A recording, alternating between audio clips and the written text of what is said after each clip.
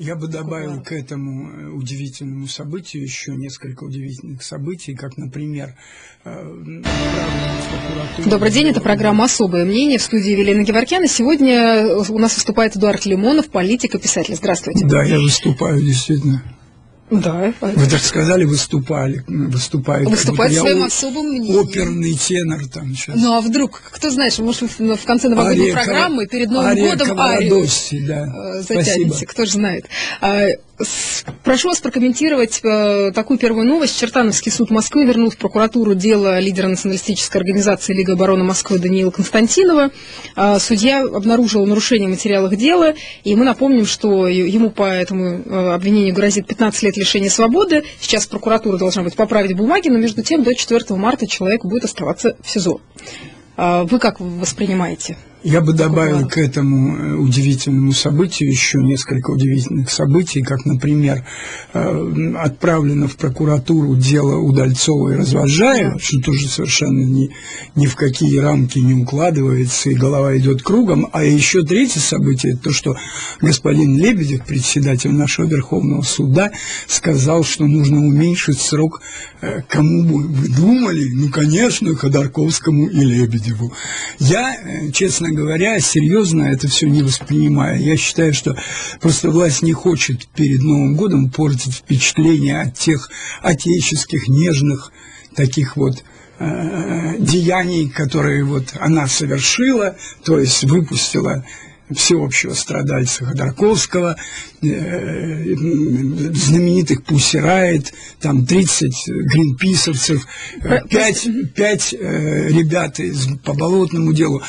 На самом деле исправят несколько запятых, и все будет то же самое. Единственное, что я думаю, что срок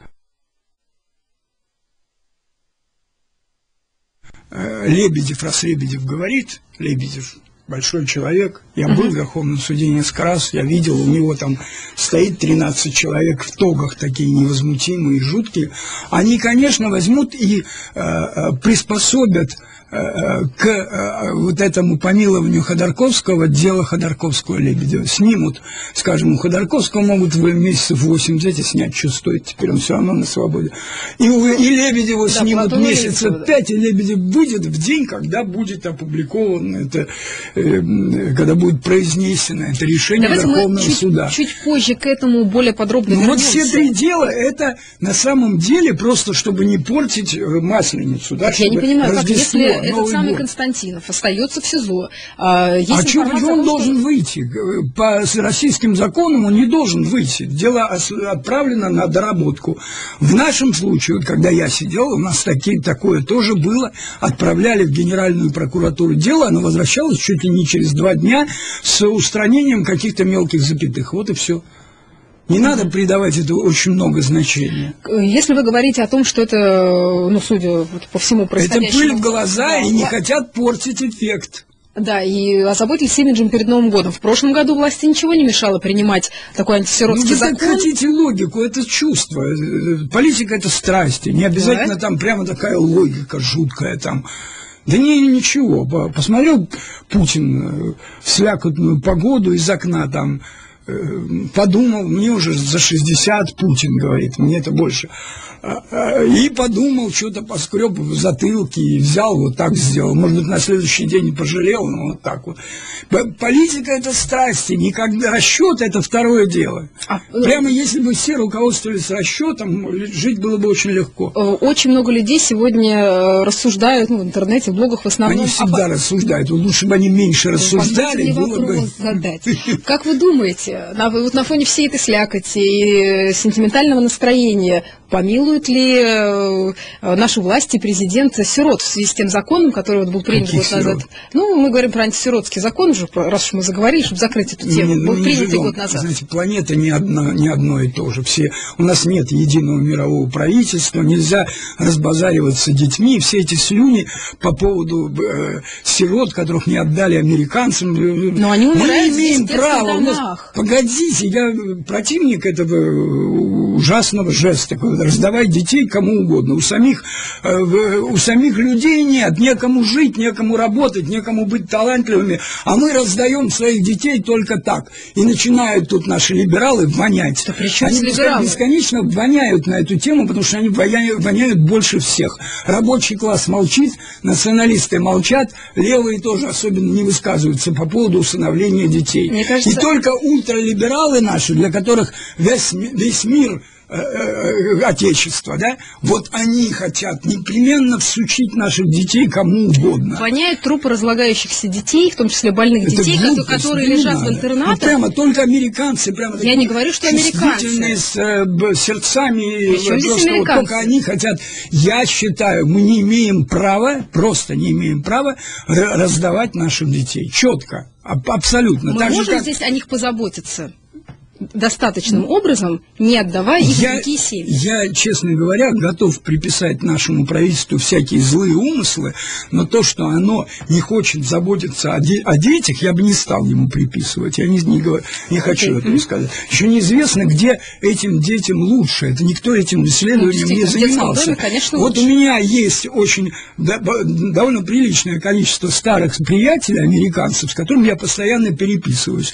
Они мне говорили еще давным давным-давно, Эдвард, существует огромная сеть торговли детьми, усыновление, это, на, них, на этом наживают э, люди дикие деньги, в частности в Соединенных Штатах Америки. Надо к этому серьезно относиться, да. и не надо бросать своих детей в пасть волку. Хорошо, пусть лучше а, тут пригодятся. Это ваши, это ваши иллюзии, это ваша демагогия. Хорошо, мы отдельно... Не ваша лично, а я имею в виду определенного класса людей, которые вообще готовы все отдать. Да, ну... Они, ну мы, я же слушаю, что, что говорят ультралибералы. Зачем нам армия, мы ни с кем не воюем. Зачем нам дети, пусть их заберут. Ну, пусть все заберут. А, вернемся к тому, с чего начали эфир. Э, амнистия. Вот вы в блоге сейчас пишете о том, что в своем блоге э, э, пишете о том, что уже сегодня, через несколько дней после принятия закона об амнистии, можно с уверенностью заявить, что она была затеяна только чтобы удовлетворить за границу и ультра, ультралибералов. Вот поясните, пожалуйста, то есть, на ваш взгляд, здесь власть пошла на поводу у этого самого Запада? Или, опять же, это было вот то самое сентиментальное настроение? Власть э, решила, что ей выгодно вот так вот. Выгодно. Вот сейчас поступить так.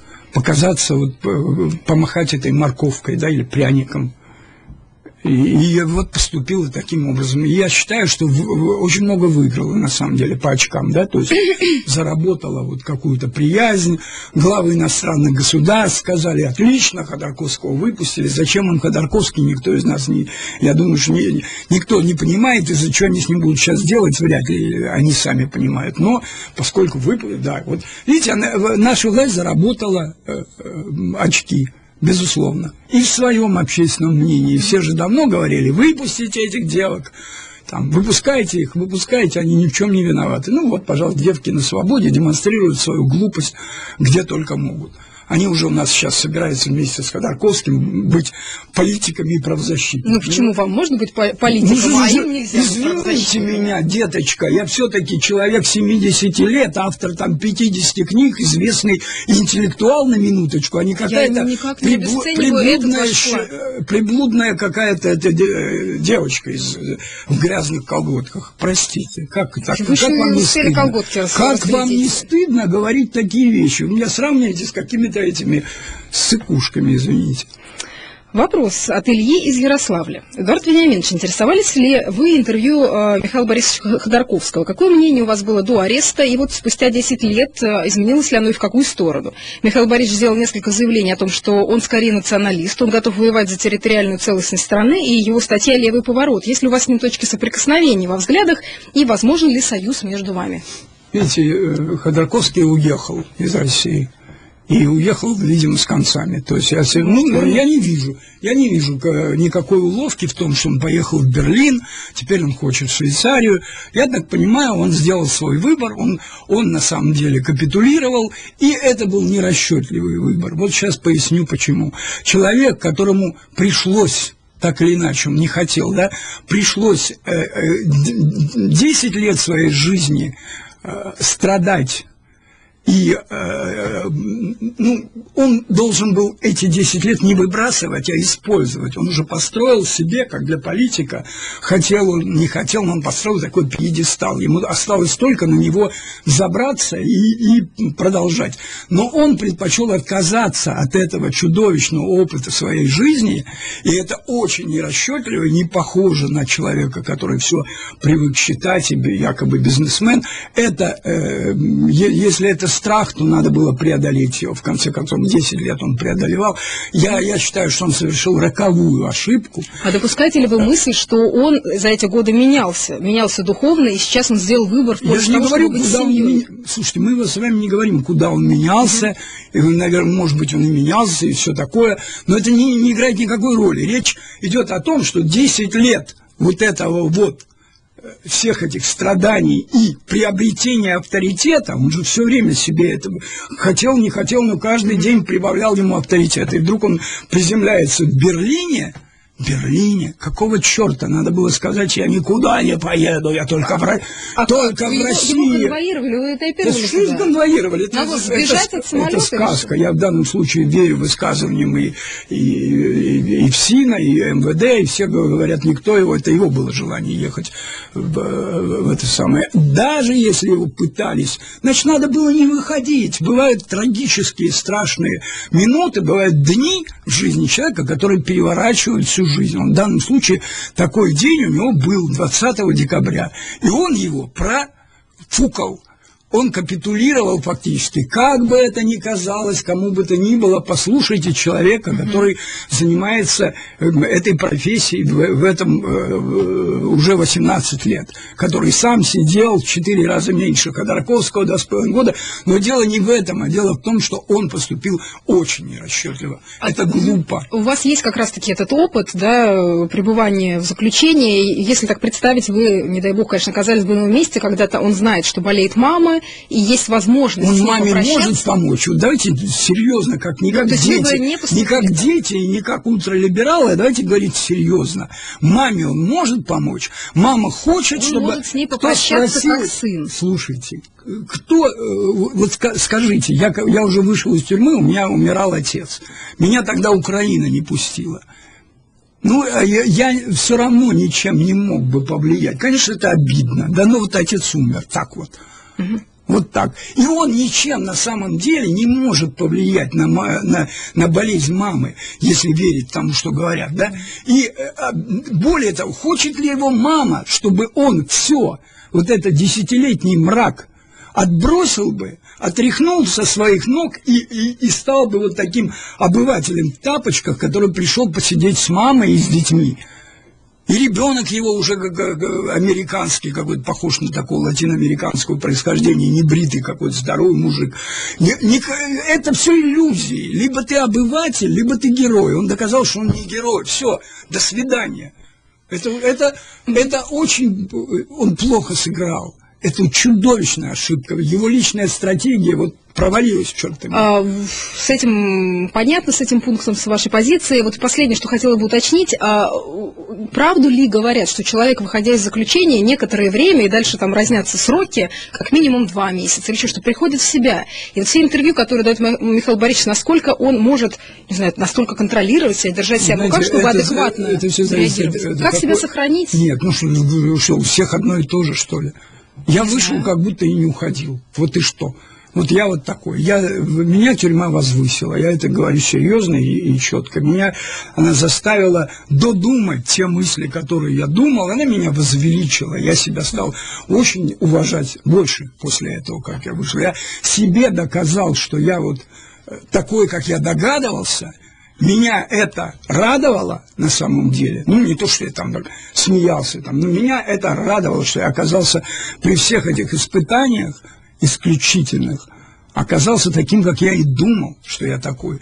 И множество других вещей. А вот это, знаете, приходит в себя, он что, институтка, это, как раньше говорили, бестужевские курсы. Он много он насмотрелся, его полоснули бритвой там по лицу. Вот помните, была эта да, история? Да, да. да не, ну я думаю, ну чего, нет, он просто плохо сыграл, это не надо было этого делать. Надо было еще терпеть. Еще терпеть, а там вот наступит. Ну, а в дальнейшем, в принципе, если уже... Я не вижу у него будущего никакого интересного. Интересного нам будущего у него не будет. Может быть, это будет будущее интересное ему, но нам этого не будет интересно, вы увидите это. Ну, как правозащитник, вы думаете, он в стране никак ну, Почему у нас скоро будет больше правозащитников, чем тех, кого надо защищать? Ну, Бесконечно правозащитник. У нас каждый, все, каждая шапка у нас правозащитник. Вопрос от слушателя с ником Ану, Анунак. А, как э, ребята в местах лишения свободы поживают, которые сели по вашему кличу и по молодости? Почему вы не просите и не требуете? Ну, это просто злобный человек, который не, не желает мне добра и э, не знает механизма. Я по моему кличу никто никогда, ребята решали, всегда шли добровольцы. На многих вещах я э, признаю ответственность свою за все для начала, да? За все, за каждую судьбу, и, и это так. Но Э, справедливости ради надо сказать, что механизм принятия решений в той партии, которая ныне запрещена, не был такой, чтобы позволял мне знать даже фамилии людей. Там порой бывало на каждом э, какой-то акции там до 40 человек задержано. Я далеко не со всеми даже не был и знаком. Так что то, что вы говорите, просто вот попытка меня уязвить. Но не получается, потому что это, это не так. Потом, извините меня, все изменения в жизни любого общества, все революции, все какие-то, что угодно, государственные перевороты всегда совершались людьми, и никто не упрекал командиров за то, что вот они там э, э, организовали, и, и люди пошли. Я э, знаю, у меня было такое знакомство во Франции с одним писателем старым, он уже умер. Он был начальником разведки при Деголе. И вот он мне высказывал ну, такой, в общем, эмоциональный человек, старый, седой уже. И он как-то, мы с ним разговаривали, он говорит, я посылал людей в тыл врага и говорит, вот я не могу, он не говорил, я не могу себя простить, он, он говорил, я признаю свою ответственность за то, что я это делал, а что был другой выход какой-то у, у этого человека, нет, никакого другого выхода не было. Впереди, б, б, куда он посылал? Он посылал на территорию Франции, людей сбрасывали там с парашютом, кто-то из них, кто-то гибли люди. Это э, вы немного, э, тут задал вопрос, э, либо просто вот вот так вот, э, где вы росли, вас в это выходили в каких-то условиях, и вокруг была вата, да, и прекрасные звезды сияли. Это жизнь для того, чтобы что-то отвоевать. Вы же не хотите, сейчас выходят с лозунгом э, «Россия без Путина». Вы хотите Россию без Путина? Так вы что, хотите, чтобы никто ни в тюрьму не сел, и вот пуговицы были бы все целы, да, вот как у меня тут пока целы. Э, так вы хотите? А этого не бывает. Наши ну, предки платили да. жизнями. Нас, нам сейчас еще же особо там жизнями не Мы же существа разумные, мы можем как-то хотя бы оценивать, насколько ну, это жертва Ну, живите, у вас есть, э, всегда есть выход, рабство или свобода. Если свобода, то, извините, придется задницу по, по, повернуть, да. И, извините, придется вашим детям пойти и что-то сделать. А если рабство, ну, сидите, не рыпайтесь, тогда жалеете найти каждого ну вот перейдем, собственно, к цифрам. А, по опросам в ЦИОМ 44% опрошенных россиян а, вновь назвали Путина политиком года. А, и второе место занял министр обороны Шойгу, третьим стал глава МИД Сергей Лавров. Вопро... Мне бы в этой связи, то есть понятно, что Путин политик года в очередной раз, да, ну, собственно, наверное, ничего удивительного в этом нет. А кто же, вот по вашему мнению, помните, такой вопрос э, на конференции задали Путину, политик номер два в нашей стране? Не, ну, давайте вернемся к простой вещи. Во-первых, ЦИОМ – это так же, как, например, э, в целом это про правительственная угу. исследовательская компания, да, вот она исследует общественное мнение. Так же, как Левада-центр подозревает в том, что она пролиберальная. Ну, приблизительно так. Есть еще какие-то между этим. У нас на самом деле нет свободных никаких там так, а по вашим организаций, которые определяют температуру общества, не, не будучи вообще ангажированными. Таких нет. Теперь давайте... Кто пос... политик года нет, Смотрите, один? Вот, вот возьмем... Сейчас я дойду быстро-быстро. Mm-hmm. У нас была независимая газета, еще не под Ремчуковым, а кто-то там у нее был, я забыл, mm-hmm. кто был главным редактором, не столь важно.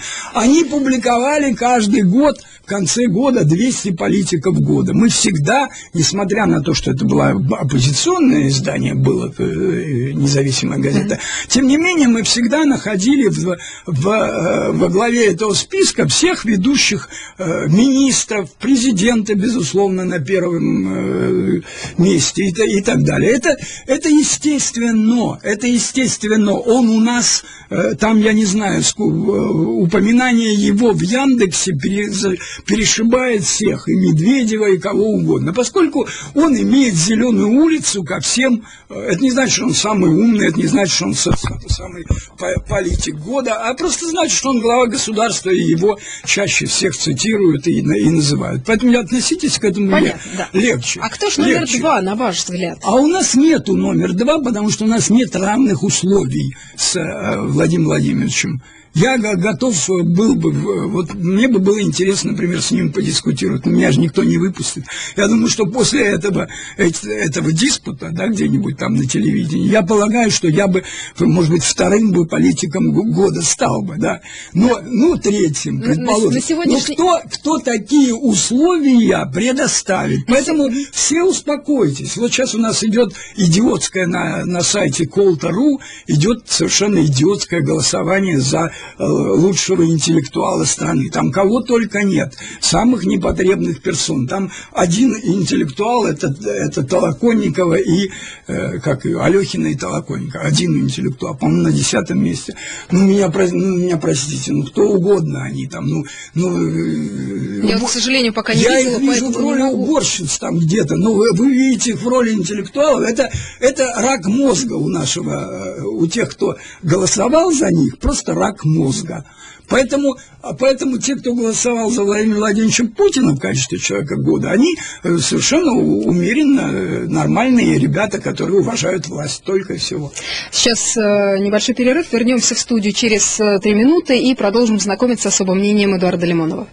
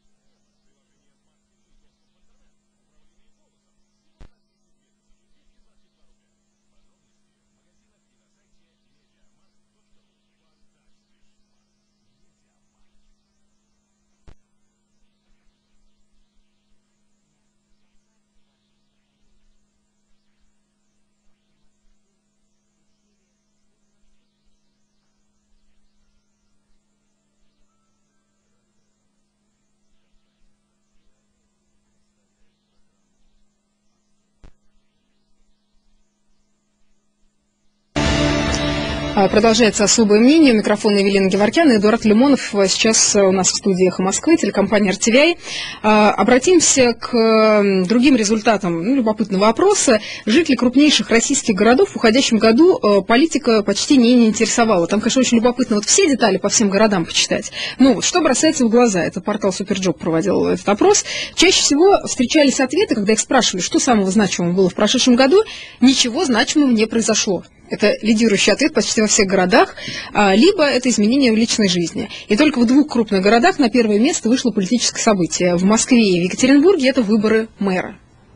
Насколько вас удивляют такие результаты, и что бы вы э, сказали, отвечая на, на вопрос? Прежде всего, надо обратить внимание на то, э, кто проводил этот опрос. Superjob – это Портал само название портала говорит о, о его э, классовом происхождении и кто это такие. То есть они занимаются необычно. Я, кстати, сужу да. по тем материалам, часто которые «Эхо Москвы» озвучивала. Это э, менеджеры, это э, люди в бизнесе. Вот Суперджаб, он сама за себя говорит, это не голос народа, это а голос, да, голос вот людей с, с хорошими профессиями, которые вполне возможно абсолютно не интересуются политикой. Может быть. И, конечно, они заметили только Навального и только Ройзмана. Вот вам объяснение исчерпывающее. Дальше, по-моему, продолжать не надо. Так, а все-таки большинство и во а всех других городах вообще ничего не заметили? Ну, так это в городах. Они спрашивают у людей, которые заняты и своим повышением по службе, как бы там продвинуться, как бы вложить куда-то деньги и так далее. Конечно, у них э, меньше. Ну, а вы бы что бы отметили, как основные события проходя, ну, вот уже уходящего Ну, я, знаете, не ребенок, когда говорят, а что там случилось у вас самого выдающегося? Ну, ответьте, как взрослый, я, я не знаю, сколько Ну, как взрослый, я удалось прожить было? еще год. Вот это скажет все население, скажут то же самое. Если их спросить, они вам ответят. Удалось, ответьте, население, удалось прожить еще год. Да, вот ответьте нам, пожалуйста. Да, и это правильно. И вот, вот мы так, так, так и живем, да. Власть свалить не удалось эту, которая вот прикипела и надоело уже вот так вот. Э, э, э, не, не, не сумели предатели, мерзавцы, неумехи, не, не, не, не позволили сделать это, да, в 2011-2012. Кого вы имеете в виду? Кто предатели? Они, те, кто у власти, нет, или те, кто, те, наоборот, кто, не смогли нет, свергнуть? Те, кто, те, кто э, сдал про, и слил протест людей в той же Москве, то в 2011-2012 годах и 2013 отчасти, и в России, да, это так. И поэтому какие у нас выдающиеся события? Так а вы, кстати, Нету. однозначно не ответили еще в той Нету. части слушателю, когда он спрашивал, а вы готовы объединиться с э, Михаилом Ходорковским. Ну, как Михаил Ходорковский Готов, ни, с кем объединяться не хочет. Так и со мной, и я, чего я буду с ним объединяться? От, от него только запачкаешься в данном случае. Человек, он сильный, все такое, 10 лет был, а потом перестал. А теперь будут говорить, вот Лимонов стоит рядом с олигархом. Ну, бывшим, ладно. Ну, нет, мне это не надо. Это все равно, что стоять с Лужковым. Нет. Это, ну, а... это, это пойдет не в пользу мне, а во вред. Я говорю со своей точки ну, зрения. Да. При всем при этом я э, к личности Ходорковского отношусь, отношусь э, нормально, и, и меня ничего не интересует. Вот если бы он стал бы со мной разговаривать, у меня нет к нему вопросов. Мне все ясно, я могу ему ответить на ряд его вопросов. Меня удивил его голос знаете, без, такой безвольный какой-то. Он даже когда выступал на своих процессах, я там потом э, видел это в Ютубе, там повсюду, ага. да, у него был более энергичный такой сильный голос, а сейчас он какой-то, ну, совсем безвольный. Он всегда, мне кажется, тихим таким голосом говорил еще до ареста, послушайте все Может быть, вы правы, но вот то, что я слышал, как его последнее слово, там, все это было куда более динамично. А вообще, есть ли в природе э, и на российском горизонте люди, с которыми вы готовы были бы объединиться как с единомышленниками? Да ни с кем уже давно не хочу объединяться, ну, поскольку с кем бы я а не объединялся, э, это все кончалось э, крайне плохо. Люди не... У меня бы высоко поднятая планка, считайте так. Ну, так это не значит, что я, я хочу да. объединиться со своим собственным народом, дойти до него, чтобы ему, наконец, он, он, он бы понял, что я могу, какие идеи я выдвигаю, и если его величество народ э, захочет, я с ним объединюсь. А через посредников всякие эти политические партии нет. Так, так а вот так, так и получается, что... До а, свидания. Я, я никому давно не верю, так же, как и наш народ. все оппозиционеры не верят никому из соседей, никакого объединения не происходит, и тем дольше Объединяться ради чего? Вы, слушайте, а минуточку, я был объединен с Каспаровым, Касьяновым из э, либеральной оппозиции с 2006 по 2011 год, так или иначе. Меня два раза кинули, два раза предали. Теперь я бы показал неприличный жест, но тут у нас это сетевизор или что-то сетевизор, поэтому не буду. Слушайте, вот вы с этим разговором про а, неприличный жест напомнили, что вчера же Роскомнадзор запретил использование четырех матерных слов в СМИ. Вы как писатель, пожалуйста, оцените как-то это а, событие и эту новость. А что, а что это такое Роскомнадзор? Это что такое? Ну, вот это контролирующий орган, который у нас закрывать, контролирующих органов. Закрывать как... СМИ, если будет произнесено там, да, четыре... Как собак нерезанных. А, ограничено только четыре матерных слова. Все остальное не матерное, там с определенными пометками можно публиковать. Нет, ну, ну, конечно, сложно удержаться в нашей жизни от э, резких слов и выражений, но можно. Я удерживаюсь, вот заметьте это. Я уже два года или больше больше веду ЖЖ и э, умудряюсь э, э, высказать то, что необходимо, свое негодование, например, вполне доступными способами без этих четырех слов. А что касается вот сегодняшней новости о кодексе, этическом кодексе для кинематографистов, которые киношники да, для себя объясня, э, У нас есть кодекс для милиционеров, я его видел. Каждый раз, когда я попадаю в ВВД, вот 31 декабря я пойду опять на Триумфальную, и, конечно же, опять буду в коридоре там читать этот кодекс милиционера. Там сказано не ходить с пластиковыми пакетами и так далее. У них свой кодекс. Теперь у нас у кинематографистов будет кодекс у, у всех, у чиновников, говорят, есть кодекс. Но я не думаю, что это некоторое безумие такое, помешательство общества, которые, и, или вернее, вот властных всяких этих структур, ну, которые это... панически боятся, и, чтобы их не изгнали, и хотят себя защитить чем угодно. К, к, еще надо к этим ходить, как, как они, к ворожьям, там, к, к шептунам, там, которые нашептывают, там, ну это же, ну это же смешно, потому что есть такое понятие, понятие, вот как бы там народный гнев. Вот как он грохнет, так у вас ни, ни одних алых парусов не останется в городе, не то, что там кодекса. Какой кодекс? Ну, вы, как мне кажется, писатель, художник, должны не... понимать, а, а, что вот нужно ли, да, как-то какое-то некое писатель. Вначале я был рабочим, у меня осталась эта закваска, я был рабочим, я жил в рабочем поселке, я работал, на, ну, не на всех, но на шести харьковских заводах я отработал свое, иногда очень долго, например, на э, заводе «Серп и молот» я год и восемь месяцев проработал. В общем, я, я закваска у меня не Э, интеллигентская, слава тебе, Господи. Это меня, это меня и делает таким э, скептическим, злым и вполне э, жизнеспособным. Хорошо, ну так вот тогда для таких, как вы, простых работяг, кино каким образом нужно снимать? И вот там нужно как-то Надо снимать талантливое кино. Патриотическое Талантливое ценности. кино, ну должно быть... Да сейчас даже, даже Голливуд всеми не, как бы хаем нас, нас опережает. Посмотрите, сколько у них фильмов о антиутопии, о будущем там Прометей, там, Элизиум, там полно. Я хожу только и упиваюсь, потому что там везде побеждают простые люди. Они, они побеждают вот э, класс богатых, они их там уничтожают. И, и это, это Голливуд. Где наши фильмы об этом? Ни одного я не вижу. Разве что вот Шакуров, по-моему, это как э, у него, по-моему, один фильм о Фаусте, и, и то так, ну, в общем.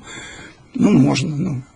А, все, все остальные просто кроты какие-то сидят там, земли роют какую-то муть свою. Ну, никому, российское кино никому не интересно. Оно выродилось в тупые боевики и э, вот эти вот живот надорвешь комедии. Говно, а не кино. А, смотрите ли вы американские сериалы? Ведь сегодня туда... Ну, прямо сериал я не смотрю. Я вам ну, говорю, я вам говорю не об американском кино. Я говорю, что Голливуд всеми презираемый якобы. Однако он видит грядущую, видит, он прозрел, видит, видит грядущую победу народа. Народ везде сейчас придет к власти. В Бразилии люди выходят, нефть принадлежит народу. Мы, кстати, вот до начала этого эфира, собственно, тут у нас затеялся практически такой а, спор о том, что, а есть ли вообще в истории позитивные примеры того, когда отобрали, и все хорошо после этого закончилось, поделили между всеми, и после этого все хорошо закончилось. Октябрьская революция, что, что она? Прекрасный Отлично. пример, чем Конечно. А что, э, Россия стала, СССР стала крупнейшей индустриальной державой, были построены огромные... Э, послушайте Проханова. О, ну действительно, то есть вы Он прав в этой части, в этой части, он абсолютно прав. Мы построили, мы были экономически э, делили мировое господство и с Соединенными Штатами. А что это не так? Вы хотите мне сказать, что я не говорю неправду? Э, я думаю, что я отвечу вам на этот вопрос, мы поспорим уже в следующем году. Это было особое вы, мнение Эдуарда Лимонова. А, наш, а наше время в прямом эфире подошло к концу. Я Евелина Геворкян. До свидания. У вас есть